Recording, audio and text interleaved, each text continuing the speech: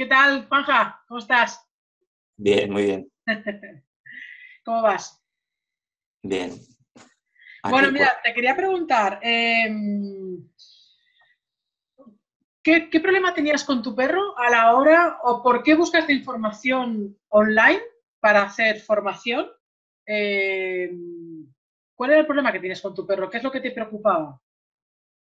Bueno, yo lo que, yo, a ver, yo he tenido siempre perro y siempre ha sido muy fácil porque cuando vivía en casa de mis padres era todo muy sencillito. Hemos tenido siempre labradores y era muy, muy fácil porque eran todos como una manta.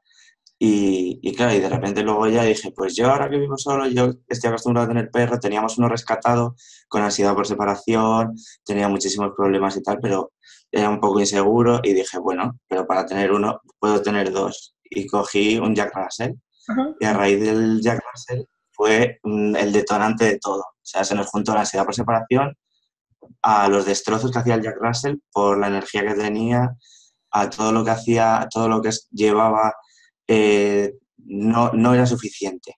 No estábamos haciendo las cosas bien, la forma de, de, gestionar la energía del perro no era buena, era todo el rato le regañábamos por todo porque todo nos parecía mal. Entonces llegó un punto en el que esa desesperación dije, tengo que hacer algo. Y a raíz de eso llamamos a un educador, hicimos todo lo que era, todo lo que nos iba diciendo para trabajar con uno y con otro y demás. Y aparte dije, a mí yo con esto no me vale, yo quiero más. Y empecé a buscar online y, descubrí varias cosas ya de muchísimas otras plataformas. Descubrí la academia, descubrí, uh, descubrí a Pat, descubrí muchos vídeos en YouTube que me completaban con libros, con mm. muchísima ayuda. Y luego todo eso ha sido un poco he ido haciendo todo un conjunto que me ha llevado a hacer pues lo que hago ahora con ellos, que es entrenar, mantenerlo siempre, o sea, tener una lógica con ellos. Pero fue lo que yo creo que a todos nos ha pasado, un perro que nos, nos llega un perro o que hasta el momento el perro no suponía un problema con todo lo que hacía. Pero sí que nos pasó que al juntarse los problemas de dos perros, eso ya fue muchísimo. Claro, es todo al cuadrado. La desesperación ya fue, si yo no puedo hacerlo yo solo, necesito ayuda. O sea, es lo que hay mucha gente que no entiende. Ah, el perro da igual, da igual. No. O sea, si tú se te estropea el coche y no tienes ni idea, vas a un mecánico. Y si tú necesitas hacer mm, fotos, vas a un fotógrafo y si, te vas a buscar a una persona especialista en eso. Mm. Entonces nosotros es lo que hicimos, buscar a un especialista, porque si no, no... O sea, nosotros solos veíamos que no podíamos. Y a raíz de eso empezó a cambiar muchísimo todo. La actitud, la... O sea, cambió nuestra actitud para empezar. Cambió la actitud de los perros a nosotros empezar a cambiar. Empezamos a ver un poco la forma en la que había que gestionar todo. Pasamos a, hacer todo en positivo. Y, hasta el momento los referentes que teníamos eran todo el adiestramiento clásico que tú tienes que hacer, y todo el mundo te da los consejos de parque típicos, que era mm, que lo único que hace es eh, volverte loco a ti y al perro. Sí. Ah, porque al final nadie tiene ni idea. Claro, sí, uno te dice una cosa, otro te dice otra. Y a raíz de eso empezamos un poco a descubrir todo ese mundillo de, educación canina. Y vas viendo poco a poco todo lo que, todo lo que falta. Genial. En el caso de la academia, ¿qué te ha reportado? A mí, sobre todo, yo descubrí, te descubrí a ti a la academia, lo descubrí sobre todo por la reactividad. Sea, a raíz de empezar a indagar, empezamos un poco cosas básicas y demás, y a raíz de la reactividad, porque claro, empezamos a trabajar cosas, pero luego eso fue cambiando a la reactividad del perro y, nos hizo, y ya fue ahí el, el culminar de todo, y ahí fue la bomba.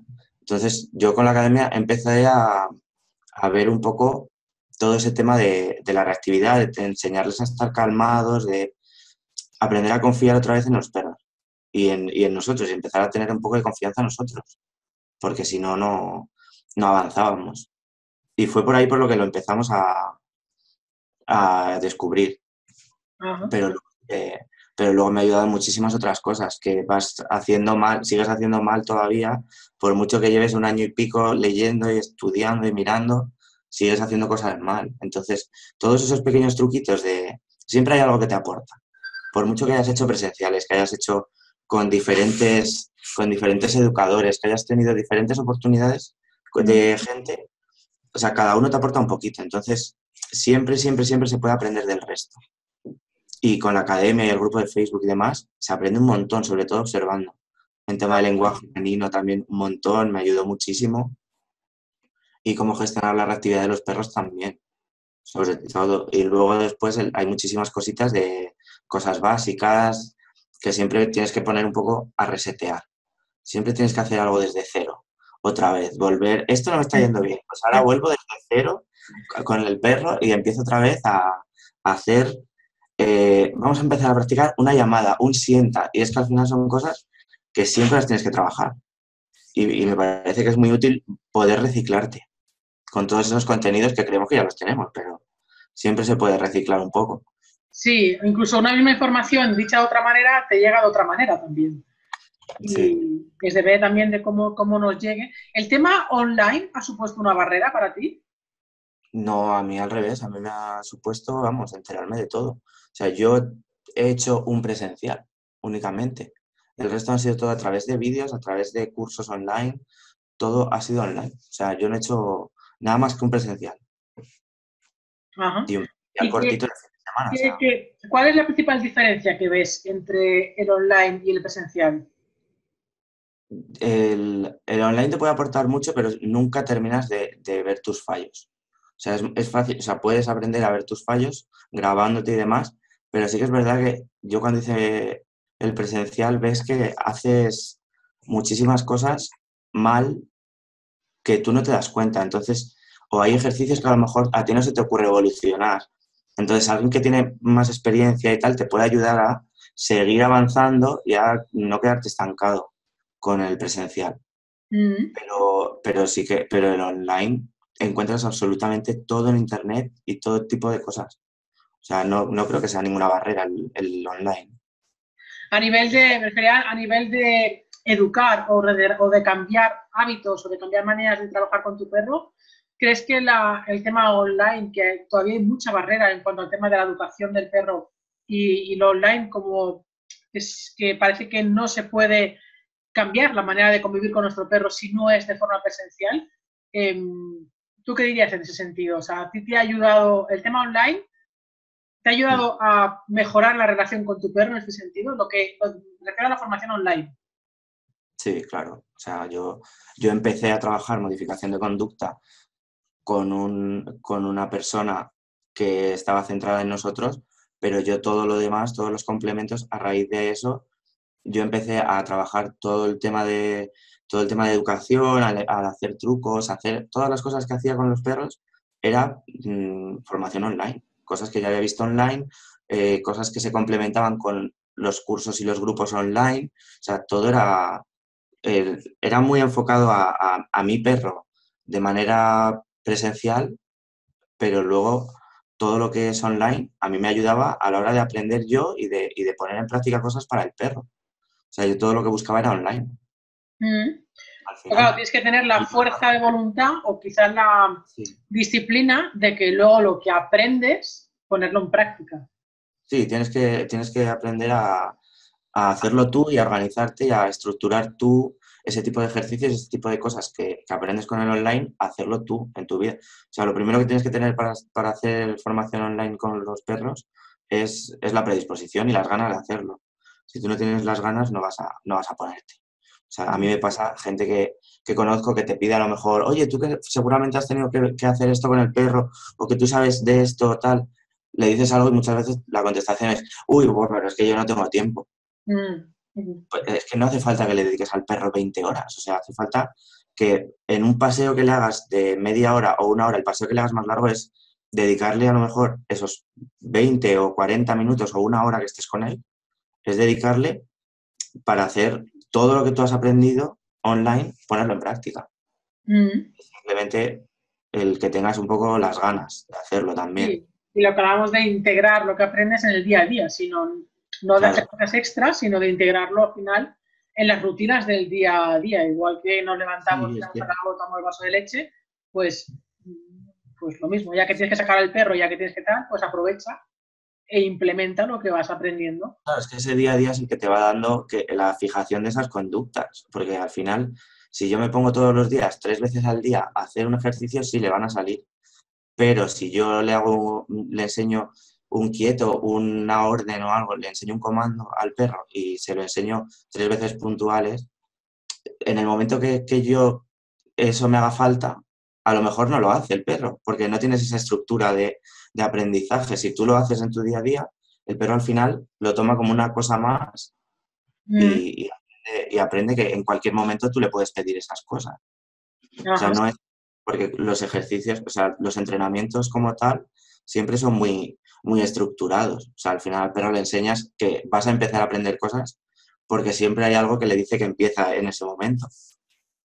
Claro. O sea, y- pero lo más cómodo a nivel de, de educación del perro, de, de conductas que son útiles en el día a día, lo mejor es directamente cuando aprovechar el paseo, aprovechar esos momentos que estás con él, en casa, eh, hacerlo de forma natural.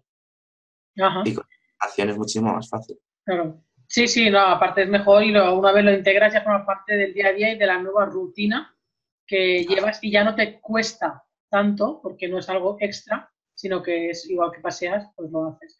Luego, en el tema de, dices que entraste principalmente por el tema del curso de perros reactivos.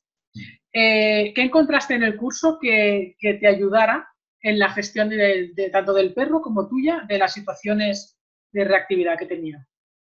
Pues yo, lo que más me ayudó fue el, el tener el conocimiento de cómo actuar en esas situaciones. O sea, sobre todo cuando llegaba un pico de cuando llegaba un pico de producirse un ataque.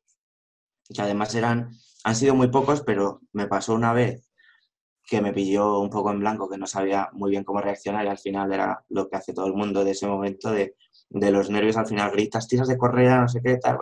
Y a raíz de ver eh, el curso, un webinar que hiciste sobre perros reactivos, una, todas esas pautas me ayudaron un poco a empezar a gestionarlo, pero más que ayudarme con el perro, me ayudaron conmigo. Porque ese tipo de, de situaciones te dan mucha inseguridad por tu parte, no vuelves a confiar y el hecho de, de empezar a... De, de tener esos conocimientos te hace un poco ir relajante en ese tema de la reactividad. Mm. Entonces, a mí me ayudó en eso y luego ya, pues una vez que vas mm, teniendo pinceladas de cosas que, que te va haciendo tener recursos, pues vas un poco aflojando un poco el hilo ya.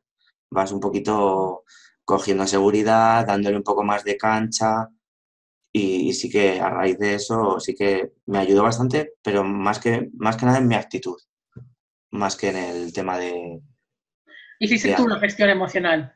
Sí, o sea, al final es, es nuestra culpa casi todo lo que pasa. O sea, Bueno, la palabra culpa creo que es muy negativa, pero yo tengo responsabilidad en cuanto a no saber qué hacer. Entonces, Sí. como tendemos a la tensión, pues enseguida nos pensamos y, y al final el perro es un reflejo de lo que nosotros estamos también sintiendo. sí, claro. Entonces, supongo que eso también te ayudaría a ver eh, cuánto tiene de reflejo tu perro de tus emociones. Sí. Y aparte me pasaba que, que cuando yo me voy de vacaciones o algo, mis padres se hacen cargo de la perra y la reactividad que la perra tenía conmigo no la tiene cuando se queda con mis padres. O Ya sea, me acuerdo de la conversación con tu madre. en- estando con mis padres, la perra se relaciona y juega con todos y fue llegar yo de vacaciones y con uno de los perros que han estado jugando, no sé el por qué todavía, pues fue una pelea ese mismo día.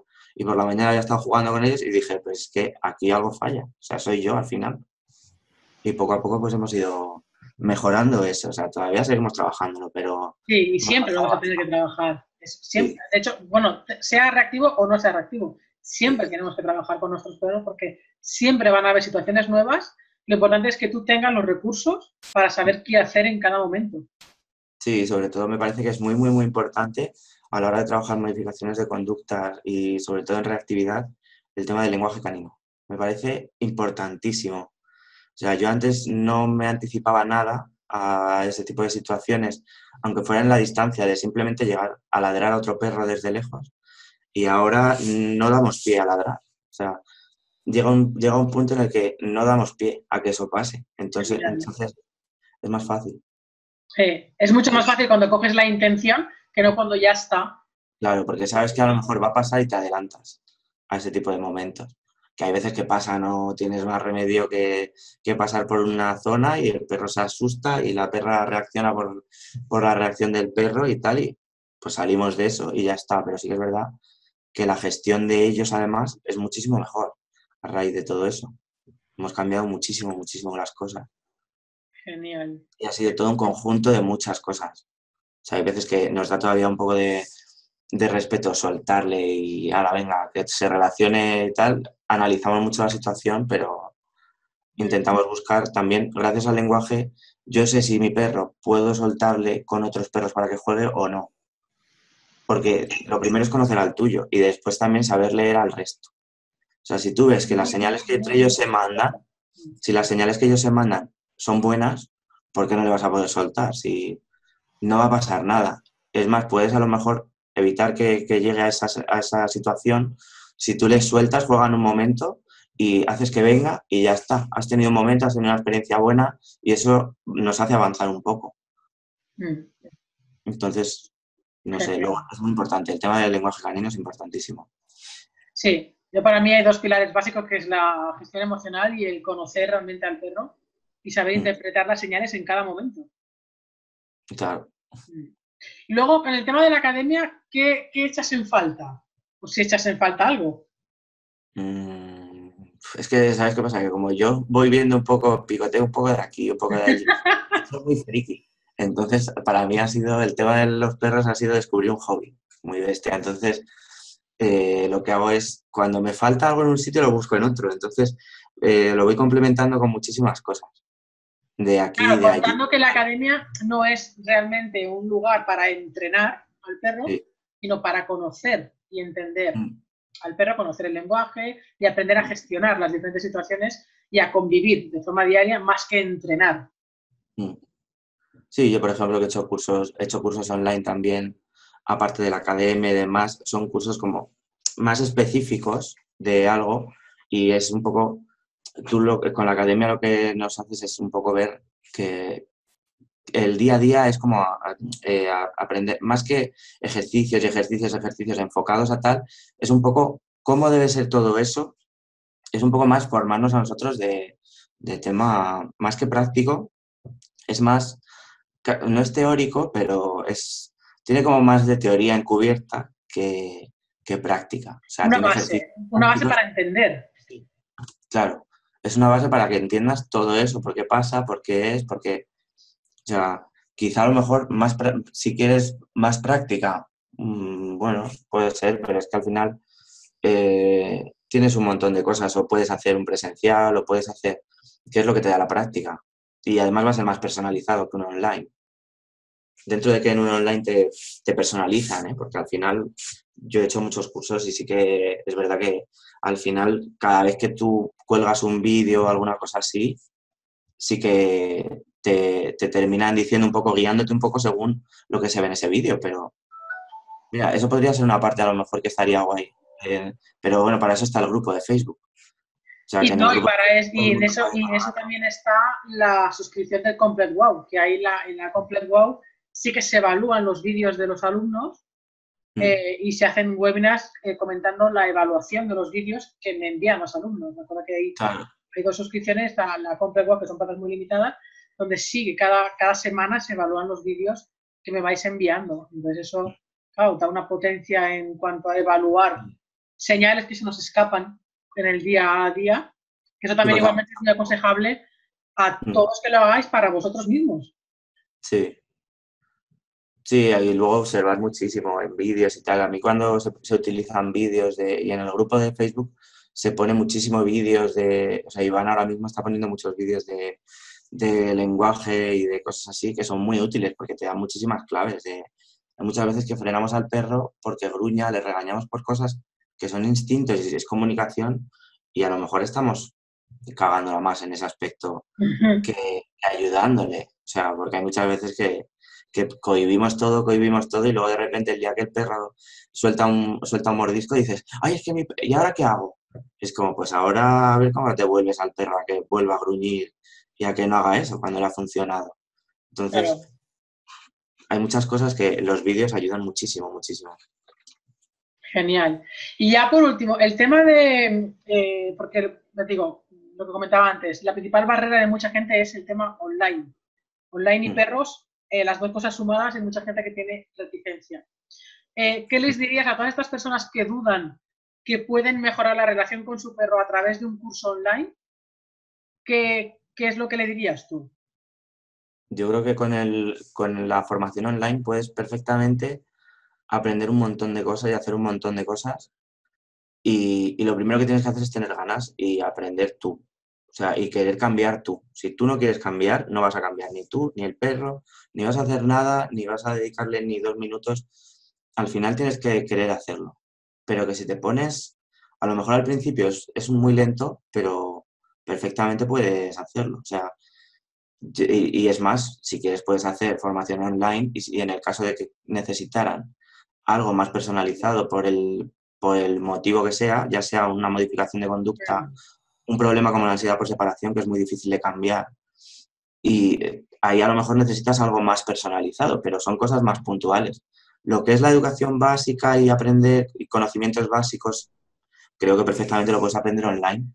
Igual que puedes aprender con libros, igual que puedes, o sea, es que cualquier forma de aprender es, es totalmente buena. Y a mí el online me ha aportado más casi que los presenciales y que todo eso. O sea, yo todo lo que sé a día de hoy, desde que empezamos todo el cambio con los perros, fue, ha sido online. Mm. O sea, que es que perfectamente puedes hacerlo. O sea, yo no veo la barrera que dice la gente. Lo que tienes que tener es el tiempo y las ganas. Más ganas que tiempo, casi. Porque al final el tiempo también a veces es una excusa, porque es lo que hablamos, no es mm, tener que invertirle dos horas más al perro, sino que las que ya inviertes, invertirlas bien. Claro, sí, sí, o sea, al final es tiempo de calidad, no es que tengas que hacer tres horas de paseo con el perro para que se canse. Yo, de hecho, intentaba hacer dos horas de paseo con los perros al principio. Mm con la perra me iba a lo mejor una hora y pico, dos horas a que corriera, a que hiciera, que...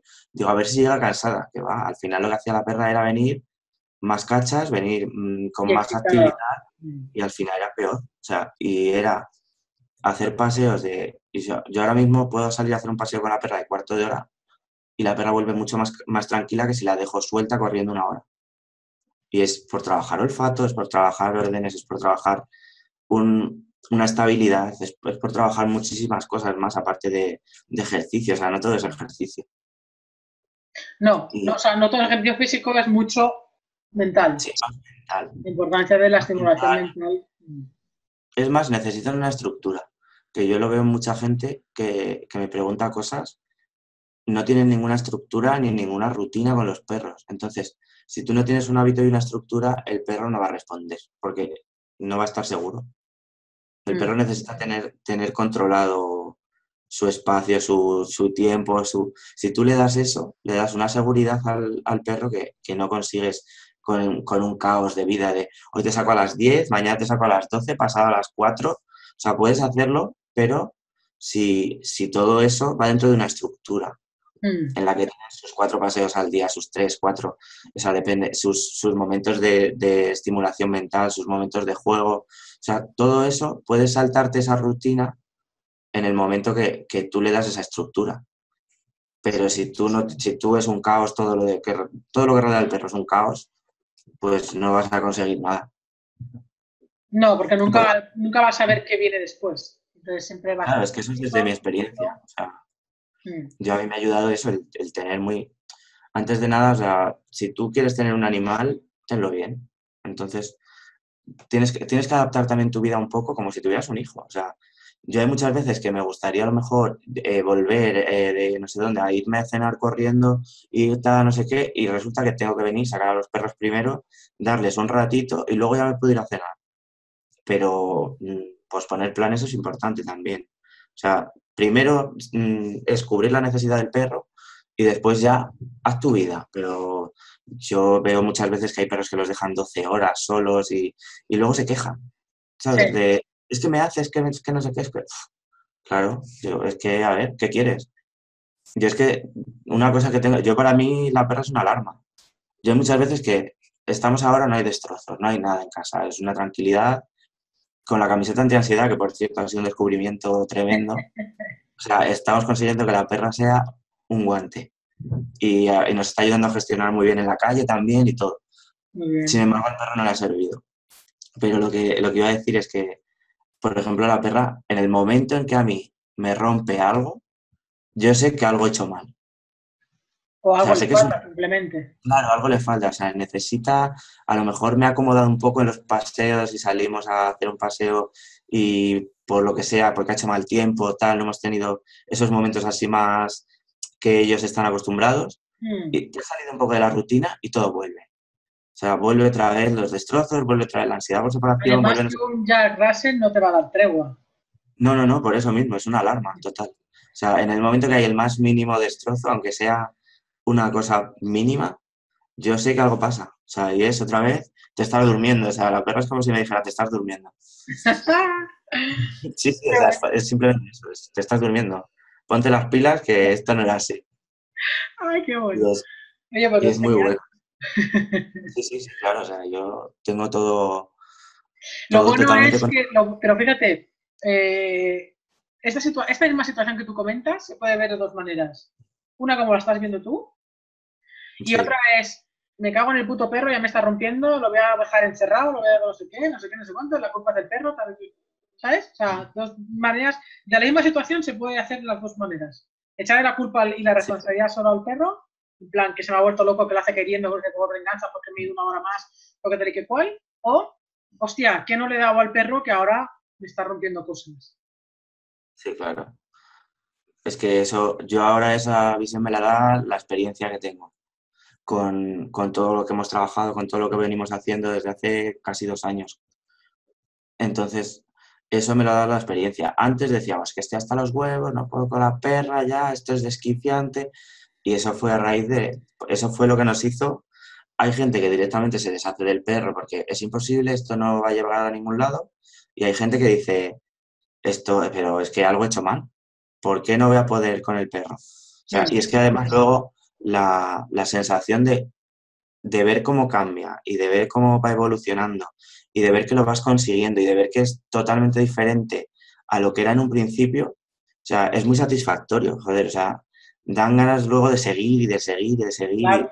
Porque además de salir- mejora la relación tuya y, y entre Claro. tú y ella. Sí, sí, o sea, es que además es la clave. O sea, si eso no, si no hay una buena relación, por, a lo mejor por eso se está dando ese tipo de cosas, porque no hay una buena relación con él. Entonces, si tú vieras cómo es una buena relación, porque a lo mejor la gente lo que le pasa también no tiene un referente de cómo tiene que ser una buena relación con un perro. Yo sí lo tenía anteriormente, pero y claro, yo decía, joder, ¿por qué, ¿por qué mi perra no? ¿Y por qué la que teníamos antes sí?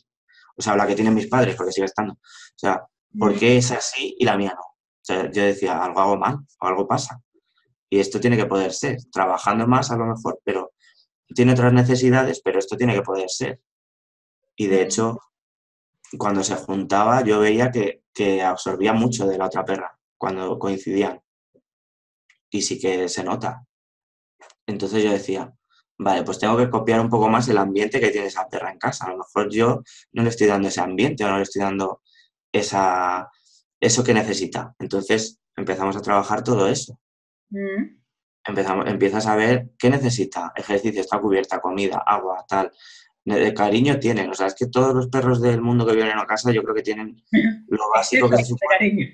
Claro, o sea, tienen al final eh, exceso de cariño, tienen comida y tienen agua, por lo general. O sea, sería lo lógico que todos tuvieran eso en una casa.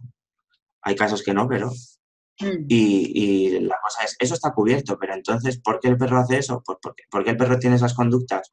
Pues algo falla, o sea, no le estás dando, a lo mejor te has cogido un perro, como me pasó a mí, que no sabe, que era muy gracioso y tal, y te gusta la raza y te llama la atención, pero te está Pero no poniendo a sabían lo que era convivir con una raza así. Claro, claro, o sea, hay mucha gente que me pregunta, ay, es que son muy chulos, son monísimos. Encima, claro, como te vean entrenando trucos con ella, porque a ella le ayuda un montón, el hecho de quemarle mental- mentalmente eso, le ayuda mucho a luego relajar en casa. y a- Entonces, claro, como te ve alguien entrenando eso, y dices, joder, si es que son, son tremendos, son una pasada, a mí me encanta, no sé qué, y, es, y claro, te, te dicen, es que es una de las, de las razas que nos planteamos, digo, pues planteate primero qué necesidades tiene. Mm. O sea, porque no es, no es tan fácil. A lo mejor llegas, y me ha pasado de encontrarme gente con Jack Russell, de decir que están hasta las narices. Jack Russell o pastores alemanes o, cualquier otra raza, porque luego es conocer un poco todo, pero en mi caso del Jack Russell yo siempre se lo digo a la gente cuando me pregunta. Cuidadito porque no es Pancho, no te va a, hacer no te va a echar la lotería. no, no, no va a ser eso. Estate, estate preparado para que en cualquier momento eso, es muy mono, muy tal de pequeño, pero es un perro que puede ser guerrero, es un perro muy activo, necesita mucha, mucha, mucha energía, o sea, tiene mucha energía y necesita mucho tiempo de, dedicación. Mm. De hecho, yo hay veces que tengo que irme solo con la perra. O sea, de hecho, hay veces que es eso, que hago salidas por separado para, poder cubrir ciertas cosas que no, o entrenar ciertas cosas que no, que no, puedo hacer junto con, no puedo hacer con los dos, claro. O sea, entonces, hay que tener en cuenta que a lo mejor tienes que hacer ese sacrificio. Mm. Entonces e, es, estaría bien que la gente nos lo planteáramos antes, porque yo soy el primero que Ay, Esa es una lucha. Estaría muy bien que nos lo planteáramos antes. Porque además he podido comprobar también que la raza mm. también eh, tiene un componente muy bestia en cuanto a las necesidades del perro. Sí, además yo era de los que siempre decía, ay, es importante ver dentro de la camada, analizar un poco cómo es cada cachorro, porque cada uno tiene su personalidad y no sé qué. Y claro, tiene, tienes que, si lo observas un poco la camada, si, vas por camada, si es una adopción es distinto. Si, si tú lo que eh, es una camada y tú puedes elegir ese cachorro, o sea, yo cogí la que gruñía continuamente a todos, la que les ponía a todos boca arriba y les estaba mordiendo y, y, decía, y me decían luego todos, es que tú eres el que primero dice eso. Dice, luego vas y te es esa. O sea, te coges el, peor de la camada, el más, el más macarra. El más gracioso, ¿no? Mira esta como por decirme a nosotros, para acá. A mí me hacía gracia, pero yo era el primero que decía que eso jamás lo hiciera. Y fui el que lo hizo y claro, y luego me explotó en la cara, porque así fue. Que tuve que ponerme las pilas con ella. Porque... Ay, qué bueno. bueno, mira, otra cosa que has aprendido a la hora de luego en el futuro coger otro perro, Sí, sí, influye. La que ponga firme a los otros? Sí, la personalidad del perro influye mucho. O sea, cada uno tiene su personalidad y desde pequeños hay mucho que se les ve. Mm. Antes que, de hecho, la perra con tres meses entró en casa y nada más llegar, claro, vienen asustados, vienen tal, y la teníamos así en el sofá, acogida, así de que al principio que, que, que claro, que está todo, no sabe dónde va, se acercó el perro y se tiró a por él con tres meses. Y el perro dijo, uy, aquí manda ella. Y de hecho el perro, o sea, la comunicación que ellos tienen sí que ella lleva totalmente las riendas con la comunicación con ellos y de hecho ella le defiende continuamente. Uno de los problemas de la reactividad es la inseguridad del perro y la, seguridad de ella. O sea, ella defiende al perro, ella si va sola se, se relaciona mucho mejor que si tiene que defender al perro. Ajá. Son cosas que influyen y que, vas viendo y vas observando y vas, y vas un poco llegando a la clave de todo eso y es por la comunicación canina y todo eso. Todo ese tipo de cosas al final te, van dando muchas claves, te van... Es mucho de observación todo también. Si tú le conoces mucho, sabes por dónde llevarles perfectamente. Antes muchas veces me salía el llamarle de, ven aquí, no sé qué, tal, ya desesperaba. Y ahora no quiere venir y digo, pues no quieras venir, me parece perfecto ya sé la forma de que vengas. O sea, o saco un juguete o saco tal, sé que te, sé cómo chantajearte perfectamente. O sea, no es chantaje, simplemente la conozco ya y sé por dónde llevarle para que sea efectivo. ¿Cómo, cómo motivarlo, más bien? Claro, sí, sí, o sea, al final es ver la motivación y la motivación de la perra no es la misma que la del perro. Son mm. cosas, son, son dos razas muy distintas, además, o sea, a ellos les cuesta jugar y yo lo veo mucho que tienen dos juegos totalmente distintos. Hay veces que juegan, pero la mayoría de veces el perro no quiere jugar porque ella es muy bruta.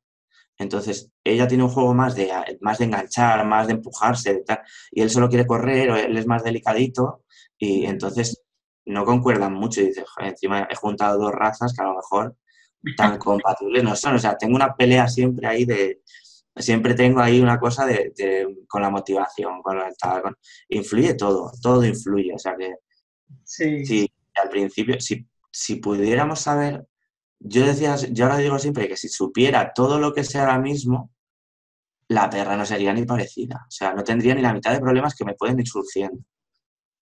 Dentro de que muchos se me han quitado ya, pero hay muchos otros que hemos controlado, más que quitado, son que los hemos aprendido a gestionar Mm. más que, más que quitarlos, porque eso es algo que son las conductas al final hay muchas veces que son para siempre y son muchas veces cosa de la personalidad de ellos. Y del instinto. Sí, claro. O sea, yo muchas veces lo que te preguntaba, el otro día te preguntaba, ¿cómo puedo hacer que, la, que deje de comerse las bragas? Pues gracias a la camiseta se las ha dejado de comer y, y ahora lo que hace se las quita. Entonces, y hay muchas veces que nos sale a lo mejor el decir, para ya, tal, porque se chupa y es que es un instinto, es que es mejor que... Si yo le prohíbo eso, al final voy a tener la casa llena de sangre por el celo y es... Y dices, pues es que, que, que me que adelantó. Nada, o sea, intentamos muchas veces cohibir cosas de instinto que, que no vienen a cuento, o sea, que nos molestan a nosotros. Porque a lo mejor es está lo machuparse, complicado, El, el adaptarnos nosotros a convivir con algunos instintos del perro que, que, bueno, que en cierta parte nos molestan porque queremos una vida muy cómoda y entonces, claro, pensamos que tenemos a lo mejor un peluche y tenemos un animal depredador de otra especie completamente diferente con una serie de instintos que están ahí. Sí, y que los tenemos que conocer y, y adaptar en la medida de lo posible en nuestro día a día. o, o aprender a convivir con ello muchas veces, porque habrá cosas que no te gusten, pero que no las puedas evitar, porque son así. O sea, yo qué sé, te puede dar mucho asco que se coma una caca o que se coma algo del suelo o tal, pero es que, mm, ¿qué quieres? Es que no va a pensar, uff, es que el perro no piensa, uy, qué asco. No, No, al revés, qué rico. claro. o sea, Y son cosas que a ti te dan un asco horroroso, pero no puedes regañarle por eso. O sea, a ver, al final, o, o que te of- ofenda muchísimo. O sea, no regañarle, le puedes, le puedes dirigir o tal, pero no es, o sea, no sé, que hay, yo hay veces que veo cosas por la calle que digo, de verdad, o sea, párate a pensarlo y, y piensa, piensa por qué estás regañando al perro. O sea, hay gente que hay- le veo hacer cosas con los perros que es que me alucina. Mm. Desde, no sé, ahora mismo no caigo en ningún caso así concreto. O sea, me pasó un día que me encontré saliendo. Yo siempre, casi siempre llevo premios, por si acaso tengo que sacarles de una situación o algo. Casi siempre llevo premios porque es más fácil dirigirles con la comida que, que o por lo menos para situaciones de emergencia, la comida me funciona de lujo. Y, y claro, y se te acercaban perros así y le fui a dar un premio a uno. Me dijo la dueña, no, no, no, que soy vegana. Digo, ¿y qué tendrá que ver? O sea, digo, digo, una salchicha o tal. No es que el perro solo come, no sé qué. Y yo, yo decía, pero es que el perro es, el perro es el perro y tú eres tú. O sea, que además hace poco hubo un caso de este tipo de, un debate con esto, de una chica que tenía un, un fennec, y yo decía, y le daba, y le hacía dieta vegana. Y yo decía, pero, ¿de verdad? O sea, estamos locos. O sea, Sí, bueno, una locura más de las que se suelen hacer. sí, Mm. pero a nivel de, del tema de la educación también veo cosas que, que me, me horrorizan. Gente dándole tirones, gente llevando el perro a rastras, y luego a lo mejor te cruzas con ellos y te pone el perro a ladrar o tal, y empiezan a decir que es que, que no saben qué hacer ya con el perro. Digo, puedes empezar por guardarte el móvil en el bolsillo. Eso- tu esa es otra pelea. Digo, deja el móvil en el bolsillo o en casa y sácate un juguete. Digo, verás cómo cambia la cosa.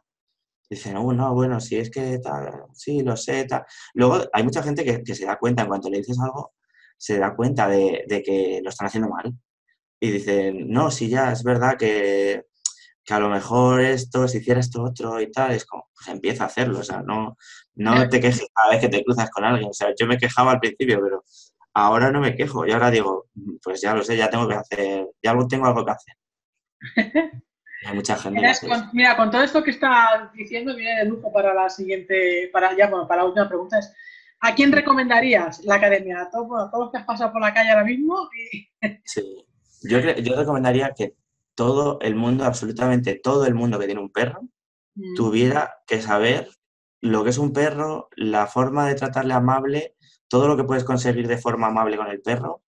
O sea, creo que sería, debería ser obligatorio para todo el mundo. O sea, debería ser totalmente obligatorio el que tenga un perro que tenga la obligación de, de conocer a su perro y de conocer las formas de tratar a un perro y de cómo hacer las cosas con él Mm. porque tenemos, tenemos muy enquistado muchas cosas que, que vienen de atrás y nos creemos que es lo correcto y nos creemos que es que es un perro, es que no sé. O sea, hay muchas veces que me dicen, es que es un perro, digo, ya, pero el tuyo no hace todas las cosas que hace el mío.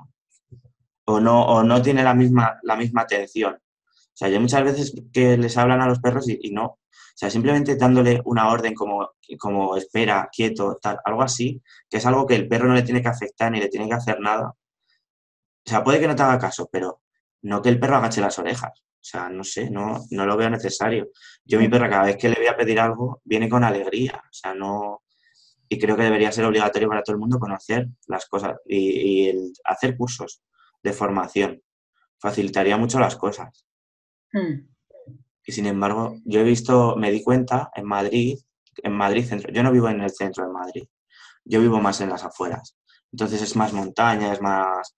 Claro, cuando yo llegué al centro, yo me di cuenta que mis perros les cuesta mucho más convivir que a los que ya están allí. O sea, tienen tan, tan, tan asimilado que tienen que convivir con perros, que tienen que coincidir, que tienen que... O sea, yo hay días que puedo que no coincida con ningún perro ni con ningún dueño. Hmm. O, los ves de lejos, pero no te los cruzas. O sea, no coincides en una acera, no... Sin embargo, en Madrid siempre vas a estar en el parque donde sales, siempre va a haber perros, siempre va a haber gente, siempre en sitios tan, con tantísima aglomeración de gente, al final tienen por narices que hacer cosas con sus perros.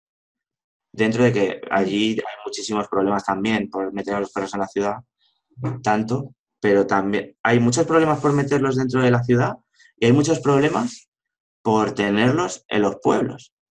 Porque es como, en los pueblos como, ah, es un perro, allí él aprende solo ya. Ya el perro ya sabe lo que tiene que hacer, es un animal y tal. Es como, hay dos, hay dos posturas totalmente opuestas que, joder, con un punto intermedio es, genial. Dentro, de que, dentro de que la gente de los pueblos tiene los perros, o sea, los perros hacen cosas que a todos nos alucinan y nos encantaría que hiciera el nuestro, como poder dejarle suelto que no le pille un coche. Mm. Y porque el perro sabe perfectamente que no tiene que cruzar y nadie se lo ha enseñado. O que se junte con todos los perros del pueblo que están sueltos y que no haya ninguna pelea. Claro, o sea, ese tipo de cosas que dices, ¿por qué yo que intento hacerlo no me sale? Y, este señor que no se preocupa del perro, nada más que ponerle la comida y no, joder, y este tío, su perro va perfecto, dices, joder, qué rabia, ¿sabes? Yo, que, yo estoy ahí, venga, pico y pala, pico y pala y no me sale. Y al final, hemos hecho, en ese aspecto, por ejemplo, hemos hecho muchos avances porque el perro se escapaba. Ah. El perro era, era ir un clic y volaba. Y nos ha, nos ha pegado muchos sustos. Y ahora, por ejemplo, el perro no se aleja. El perro tú le puedes dejar mm, suelto y se va, se coge distancia y tal, pero no, no se va ya por lo menos. O sea, eso, la, la relación ha mejorado bastante. Genial. Y al final es lo más importante. Eh, si tienes una, una, buena relación con tu perro, lo demás viene, viene extra. Y es algo que, que, sí, que mejora y que es algo para el perro beneficioso. Pero si no tienes una muy buena relación, ya le puedes pedir 3.000 cosas al perro que casi que te vas a tener que pelear con el perro para que las haga. Sí, claro. Porque él va a querer evitar ese contacto contigo porque no hay, porque no hay, no hay una comunicación entre tú y él. Sí, o aparte él tiene alguna, tendrá experiencias malas o cosas que no le gustan o no se lo pasa bien, no tiene motivación. Entonces hay muchas cosas que influyen en eso. Hmm. Muy bien, Juanja, muchísimas gracias. gracias a ti. Por regalarme tu tiempo. Y nada, nos vemos por la academia y por Facebook y por, y, bueno, por las redes, por todos lados. Sí. ¿Vale? Ahí nos vemos. Hasta luego. Hasta luego.